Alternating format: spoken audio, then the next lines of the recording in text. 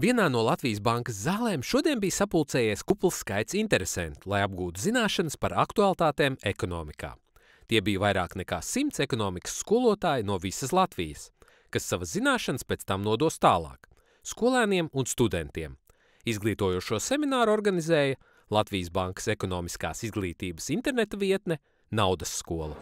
Skolēni ir arī viena no mūsu galvenajām mērķa auditorijām. Mēs saprotam, ka skolotājs būs tas galvenais mūsu palīgs, kas to skolēnu ievirzīs naudas skolā, naudas pasaulē. Un tādēļ arī mēs esam nolēmuši vienreiz gadā, uzsākot jauno mācību gadu, piedāvāt skolotājiem tālāk izglītības semināru vai kursus.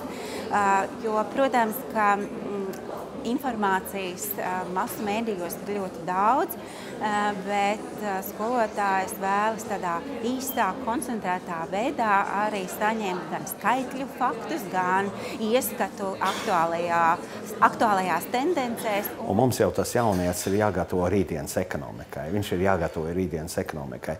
Tāpēc īstenībā nu, tā, tā lieta, kas notiek biznesā, kas notiek, respektīvi naudas tirgo, tā ir lieta, kur vispār skolotājiem ir visu laiku sevi jātur līmenī. Ja? Jo pretējā gadījumā tu neesi aktuāls skolniekiem. Ja? Tu, tu esi vecmodīgs. Ja jāsalīdzina ar iepriekšējiem gadiem, tad šogad tā informācija ir vairāk arī vienkāršam cilvēkam uztverama, jo ne visi jau ir makroekonomikas speciālisti. Ja, un, Un skolotājs arī, kaut arī viņam ir pašam jāmāca, nevienmēr viņš ir tik dziļi visā ir spējīgs ieiet. Jā. Semināra tēmas tika izvēlētas atbilstoši aktualitātēm tautsēmniecībā un monetārajā politikā, kā arī saistībā ar ekonomikas mācību vielu skolā. Lekcijas lasīja vadošie speciālisti atbilstošajās jomās, kas arī bija gatavi atbildēt uz visiem skolotāju jautājumiem. Šāda pasākuma rīkošana neilgi pirms jaunā mācību gadu sākuma ir kļuvusi par labu tradīciju. Tas notika jau trešo gadu pēc kārtas, arvien pieaugot pedagoģu interesē.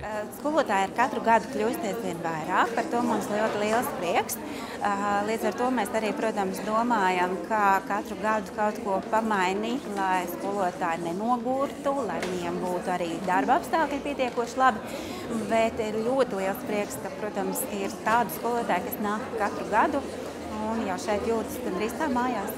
Es domāju, ka šeit arī e, kalpo šis mārketings. Mēs viens otram pastāstam, ko esam dzirdējuši, skolotājs viens otram, un nākošu reizi mēs gandrīz katrs jau esam kādu atveduši līdzi. Kā atzina skolotāji, viņu audzēkņi aizvien labāk apzinās ekonomikas saikni ar reālo dzīvi. Tāpēc arī skolēnu interesi par šo priekšmetu ar katru gadu aug, un tāpēc arī skolotājiem katru gadu jākļūst aizvien zinošākiem ekonomikas aktualitātēs.